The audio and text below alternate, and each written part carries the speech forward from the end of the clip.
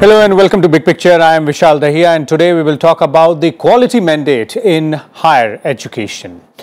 Now, aiming to improve the quality in higher education institutions, the University Grants Commission has adopted the Higher Education Quality Improvement Program mandate. Five verticals of quality mandate developed by UGC cover evaluation reforms, eco-friendly and sustainable university campuses, human values and professional ethics, faculty induction and academic research integrity. So how will these five verticals contribute to improving the quality of higher education in our country? To understand this and analyze it further, we have a distinguished panel of guests today with us. Let me first introduce the guests to you, beginning with Professor V. Ramgopal Rao, Director, Indian Institute of Technology, Delhi. We also have with us uh, Ms. Renu Batra, Additional Secretary, University Grants Commission. And we are also joined by Professor Anu Singh. She is Vice Chancellor, Ambedkar University in Delhi. Welcome all of you to Rajya Sabha TV. Let me begin with you, Ms. Batra, to try and understand a bit more about these five verticals and the concept of quality mandate for higher education. As you know, UNESCO has issued the quality uh, uh, sustainable development goals, which are 17 in number, and at number 4 is the quality in higher education and India is one of the signatory of the UNESCO SDGs. So, keeping that in view the quality in higher education UGC in, in the month of May 2018 has come out with a quality mandate and this quality mandate has 5 objectives with mm -hmm. the mm-hmm. 10 verticals. Objectives is are that what we are going to achieve and how we are going to achieve that is we have mentioned in our verticals that is a program of action what we are going to do with that. Okay. And that quality mandate and objectives and verticals were approved by the commission and we had a meeting of the all the vice chancellors of the all over the India and even the directors of various institutions also participated in that workshop where this quality mandate was discussed, deliberated and adopted by the institutions. So, taking that matter further, we have come out with various programs and three or four programs uh, are Diksha Aram program which we launched last year. Then there is a program of Paramarsh. Diksha Aram program is meant for the student induction program. When the student come to any institution, so they they their uh, entry into the institution should be more comfortable and acceptable. They should know about the ethos of the institution. They should know about the all the activities or the program of the institution. So we have uh, developed a student uh, Deeksharambh student induction program which is for the six days. Mm -hmm. and for that we have trained around 1000 teachers and around 500 institution has implemented the student induction program okay. and we have got a very good feedback from the students that it was a program which was very much required for the students. Mm -hmm. Another program which we already has launched is the Paramarsh program. As you know NAAC is the agency which is accrediting the higher education institutions. So we have kept a target that by 2022 all the higher education institutions should be accredited by the NAAC. Now, in our country lot of diversity is there, different type of the institutions are there. So, we thought that there are some good institutions which can mentor the institution so that they should be ready to go for the accreditation. Okay. So, we have identified around 167 institutions which are more than 3.5 OGPA by the uh, NAAC accreditation and uh, these institutions will be doing the mentee for the 900 plus institutions. Mm -hmm. So, with this we would like to improve the culture of accreditation among those institutions. We would like that institutions should be ready and they should get at least 2.5 of the NAAC accreditation grading by uh, by the NAAC. Mm -hmm. So, these are the two programs which we have already started. Another program which we started is a STRIDE program which is to promote the interdisciplinary research and multidisciplinary research. In that also we have three components. Component 1 is for the capacity building, component 2 is to undertake the research in all the program and component 3 is basically for the human sciences to undertake the high impact uh, research. Okay. For that we have entrusted this work to the Banaras Hindu University. So, they are helping us in identification and uh, the evaluation of the proposal. And under component 1 we have already identified 35 institutions uh, uh, which would be taking up the, the research further. Okay. hmm. uh, now, now adding to this is, is are those five verticals which hmm. have been recently adopted, and if I'm uh, reading them right from here, you know, hmm. evaluation reforms, yeah. then there is uh, Satat, a framework for Yeah. eco-friendly and sustainable campus. Uh, Yeah. then it's Mulya Pravaha, that's guideline for uh, in- inculcation of human values. Uh, Guru Dakshata, that's a guide for faculty induction. And the last one, the most important one, the CARE, Consortium for Academic and Research. Ethics. So these are, how do you focus on, on these particular five aspects? So these are the five programs which has been launched yesterday by the Honorable Minister of Human Resource Development. Basically, as you said, one is on the uh, faculty induction program that is Guru Dakshata. As you know, teachers play a very important role in any educational institution, be it a school education institution or a higher education institution. And we are doing lot of, uh, we are facing lot of challenges first to recruit the teachers, to retain the teachers and if we are able to retain the teachers, how we should have to make them the role model teachers. Okay. And as of now, there is no formal training when the teacher go for the teaching in a higher education institution. So we have developed a program, Guru Dakshata, we call it as faculty induction program, which is a one month program. And in this one month program, there are 10 different modules. Mm-hmm. So any newly recruited teacher when it, when he or she join any higher education institution they have to undergo this for one month program and in which 10 modules are covered Okay. and this is mandatory and this is as per the UGC regulations 2018 which we have issued for the appointment of the teachers and their eligibility condition and the pay scale. Okay. So And- this is a mandatory uh, program for all the newly recruited And, and teachers. before I go to Professor Rao and um, Professor Anu as well, one more aspect, that's the CARE, Consortium for Academic and Research Ethics, because that's Yeah. a very important area. Yeah, that is very important. You are very right because you must be listening or you everybody so many newspapers and all that they cover that the research which is not uh, published is not in a good journal. It is a very dubious type of research. Quality is not ma- maintained.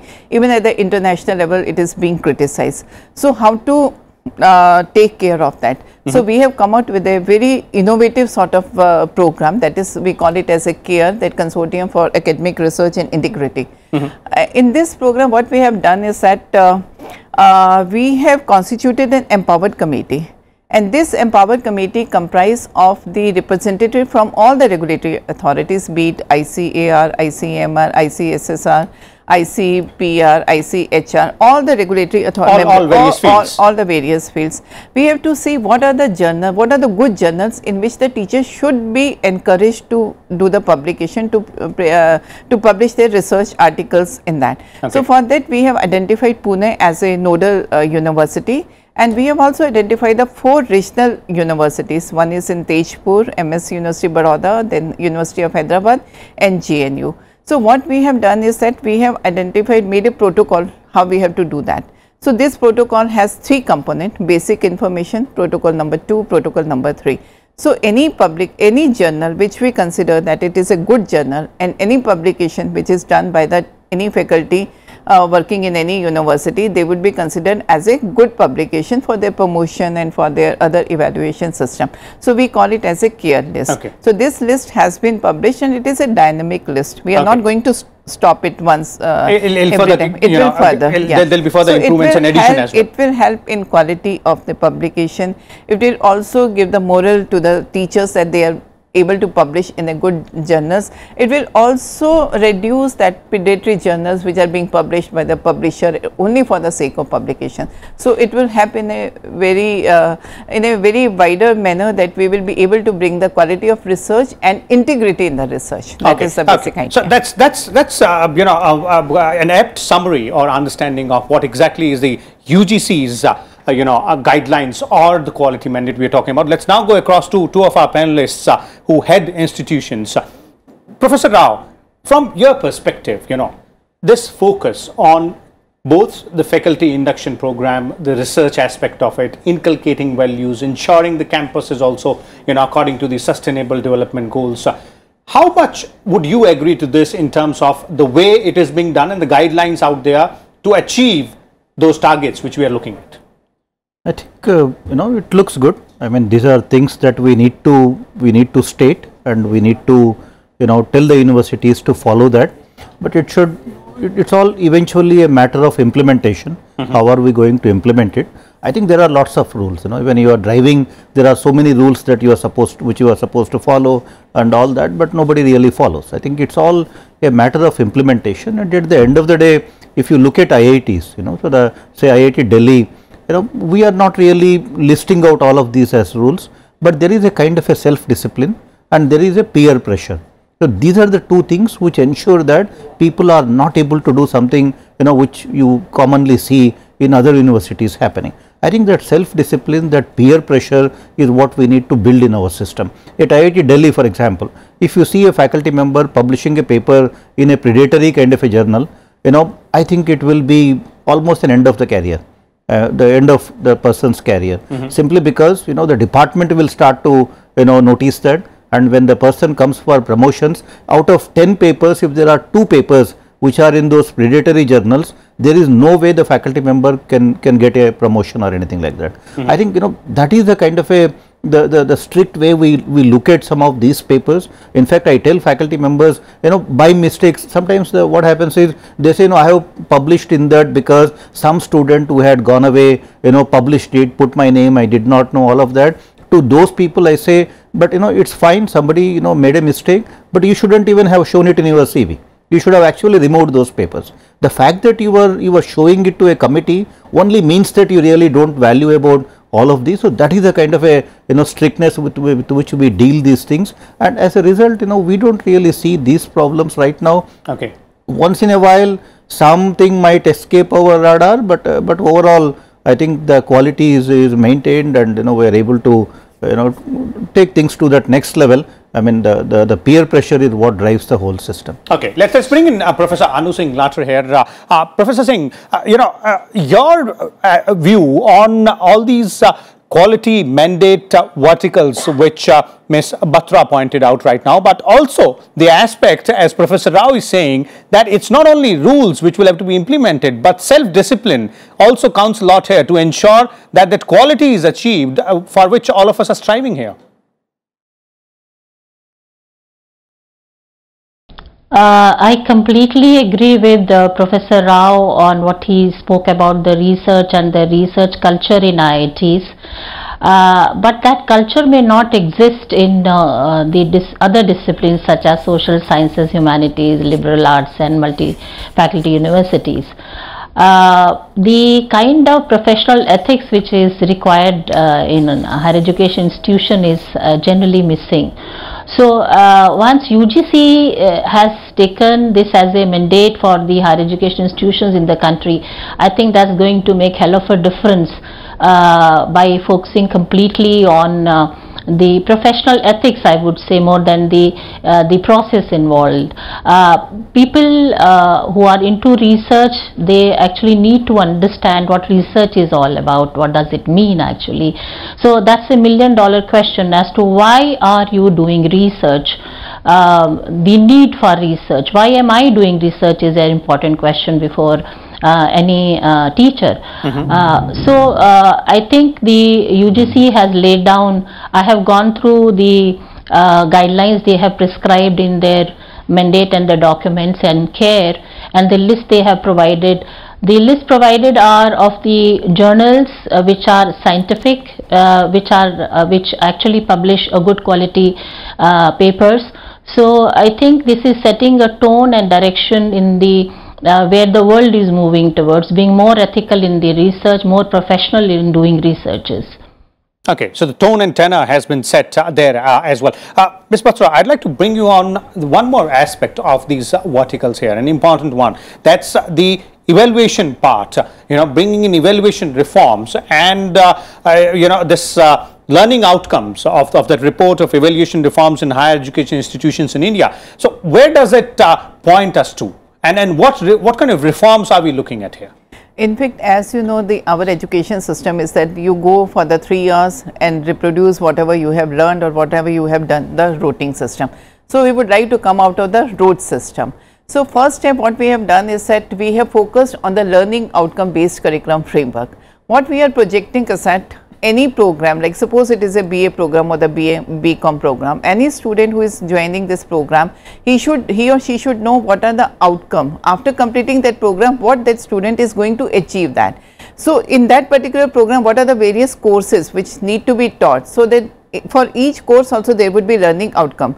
So, there would be uh, uh, alignment between the learning outcome of the course and learning outcome of the program. Mm -hmm. So, once that is ready then we will try to evaluate the students whether the student has really acquired those competences or not so, this cannot be done by taking the examination once in a semester or this thing. So, what the, uh, we constituted a committee under the chairmanship of Professor M. M. Salunke who was the Vice Chancellor of Central University of Rajasthan and few another universities.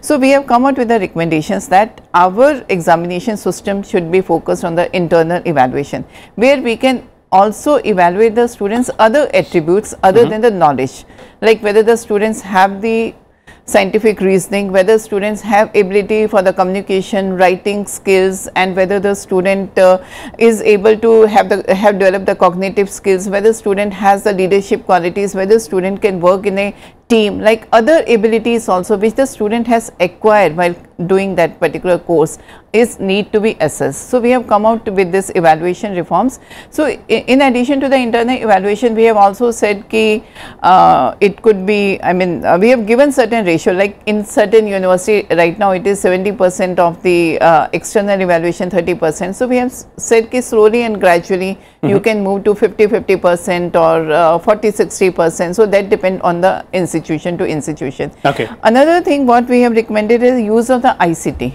technology based that also need to be done because mm -hmm. then also there, there, there could be a lot of transparency in the system that also has been recommended. Okay. Then also we have said about the moderation also we have said about question bank also committee has uh, made certain recommendation and for this purpose also we have conducted training of the controller of examination and dean academics and around 700 uh, controller of examination has been trained on our this particular report. So, we are looking forward that the institution should start working on this next academic session or slowly and gradually they have to come out of that uh, road system of examination to this type of system of evaluation. Okay, let's again go back to uh, both the uh, you know uh, professors here and let's find out. And uh, Professor Anu, I'd like to uh, come to you you first. in terms of the evaluation reforms aspect here, do you agree that you know focus on internal evaluation has to be a bit more than than what it is right now? Gradually, we, we should move towards, as Ms. Batra is pointing out, from maybe 20 percent or 30 percent towards 50-50 each. I absolutely agree with her. In, in fact, all the professional uh, programs which have been existing even before UGC has mandated this for all other programs, uh, professional programs have already been having this kind of uh, evaluation system where the continuous evaluation uh, which forms the integral part of the course delivery and the program outcomes, the program specific outcomes and the course outcomes and the program outcomes are linked to each and every step of evaluation. Uh, 60, 40, 75, 25, 50, 50 is uh, however uh, the most of the universities are looking at. Uh, continuous evaluation also gives a, a, a very comprehensive outcome of uh, behavioral outcome of a student. Mm -hmm. When we say behavioral outcome, it also means that whether the student, student has walked away with a degree or he has really been a human being who has learned something out of the institution and taken uh, a takeaway in form of the behavior. For example, uh, cognition would be the knowledge part, conation would be the action part and affection would be the sensitivity and the responsibility and ethics part of uh, the education. Mm -hmm. So, uh, this continuous evaluation will help uh, the instructor and the teachers to find out uh, whether the behavioral outcome which has come out of the learning of a particular uh, course in a particular program has really been achieved in, in terms of a holistic framework mm -hmm. and, uh, and he has not just taken a degree by passing a, a, few questions and attempting few questions at the end of the uh, program. So this really I endorse the idea of UGC that uh, continuous evaluation should uh, be integral part of the higher education system. Okay, Professor Rao, does it work the same way uh, in, in the science field, specifically when you're talking about, you know, uh, specialized aspects uh, and institutions like IITs? No, we do have a, a continuous evaluation in, uh, in we follow the semester system. Mm -hmm.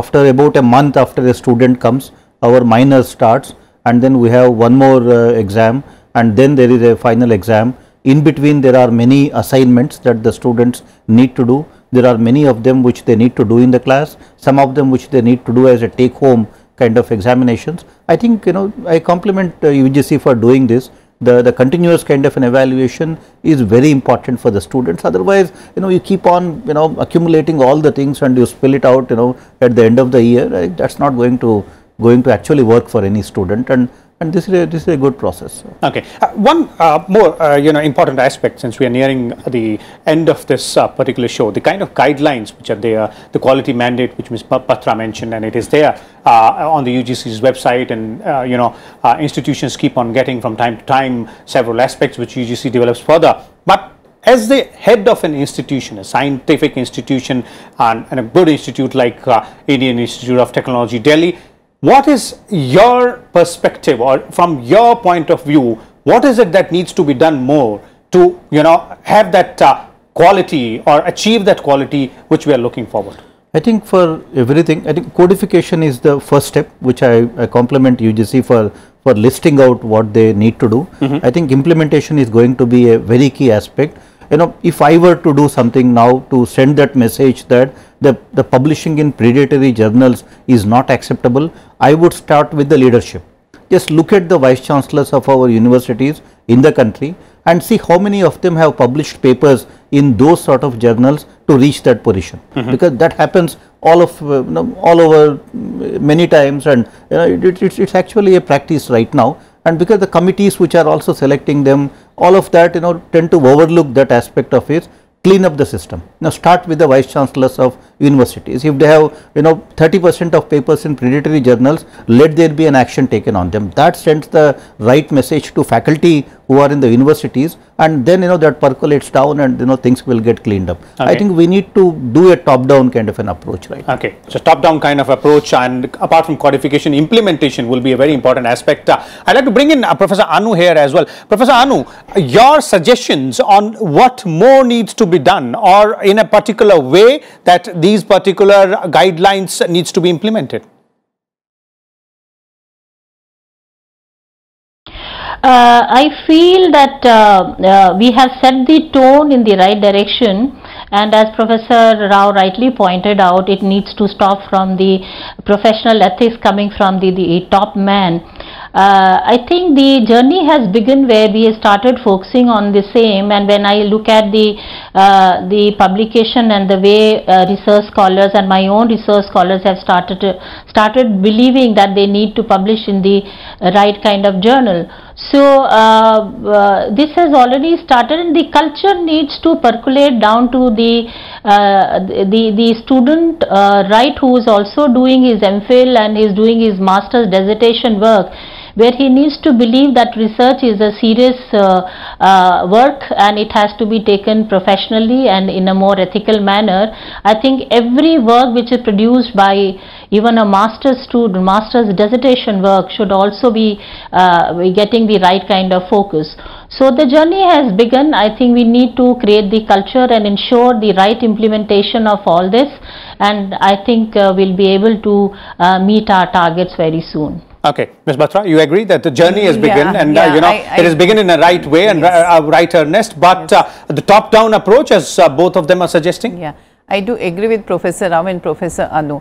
Actually, the care list which we have now published, at least it has brought the awareness among the teachers and the students that they have to make the publication in the right type of journals. Once the awareness is there as Professor Rao has suggested that slowly and gradually it will become a self-discipline, then there would be no need for any care list and all that, then when everybody is a self-discipline. Uh, and we have also mentioned that even if you publish as Dr. Rao has said, when they go to the selection committee, selection committee should be able to differentiate whether they are the good journals or they are not the good journals. So that also there is a level of filtration where they can do. I think if we all of us starting from the top to the lowest teacher or the assistant professor, research scholar, if they all agree with all those things and they start working on improving the teaching learning processes, evaluation, bringing the ethics and professional ethics in, our, in the institution itself and doing the research of the integrity that will help in the bringing the quality in higher education. And we would be able to attain that uh, sustainable development goal for which the target is 2030. Okay, so there it is uh, for our viewers. Uh, the gist of a quality mandate uh, in higher education, the guidelines and how they needs to be implemented uh, starting with a top-down approach uh, with a focus not only on the research aspect but also faculty induction and the evaluation of students as well. We'll come back again tomorrow with a different topic. Till then, keep watching Rajya Sabha Television.